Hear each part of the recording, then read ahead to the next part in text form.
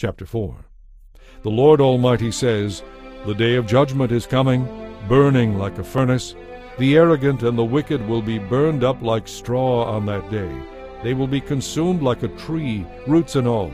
But for you who fear my name, the Sun of righteousness will rise with healing in his wings, and you will go free, leaping with joy like calves led out to pasture.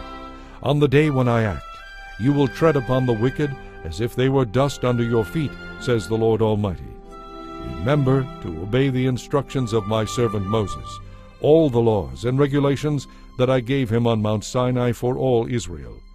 Look, I am sending you the prophet Elijah before the great and dreadful day of the Lord arrives. His preaching will turn the hearts of parents to their children, and the hearts of children to their parents. Otherwise I will come and strike the land with a curse.